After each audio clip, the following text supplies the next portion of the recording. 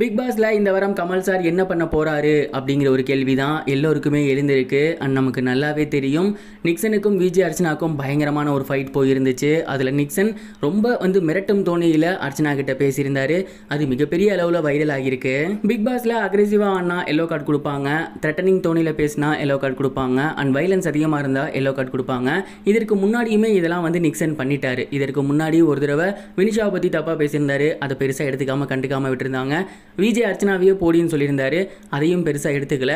And இந்த முறை ரொம்பவே ஒரு மிரட்டும் தோணியில் வைலன்ஸாக தான் அவர் ஈடுபட்டிருந்தாரு.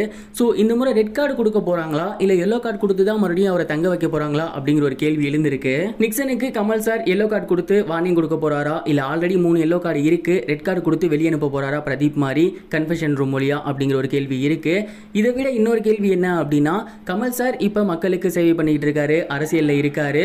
சென்னையில் மிகப்பெரிய அளவில் மிக்ஜம் புயல் பாதிக்கப்பட்டிருக்கு. அதனால் எவிக்ஷனே கிடையாதுன்னு சொல்லியிருந்தாங்க. ஒருவேளை வீக்கெண்ட் எபிசோடே வேணாம் அப்படின்னு கமல் சார் சொன்னாலும் அதுக்கு ஆச்சரியத்துக்கு இல்லை. ஏன்னா இந்த ஒரு நேரத்தில் மனிதாபிமானத்தோட மக்கள் சைடு நிற்கணும் இது ரொம்பவே அவசியமில்லாத ஒன்றுன்னு கூட அவர் சொன்னாலும் சொல்லலாம். ஸோ ஃபிஃப்டி ஃபிஃப்டி தான் இந்த வர வீக்கெண்ட் எபிசோட் நடந்தால் தான் நடக்கும். ஒருவேளை ரொம்ப கன்வின்ஸ் பண்ணி சேனல் கேட்டு கமல் சார் வந்தாலுமே நிக்சனை எவிக் பண்ணுவாங்களா? இல்லை வார்னிங் கொடுப்பாங்களா? அப்படிங்கிற ஒரு கேள்வி எழுந்திருக்கு.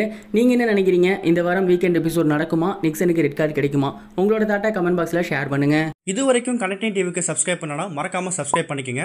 உடனடி அப்டேட்ஸ் பெறுவதற்கு நோட்டிஃபிகேஷன் பெல்லையும் கிளிக் பண்ணிக்கங்க.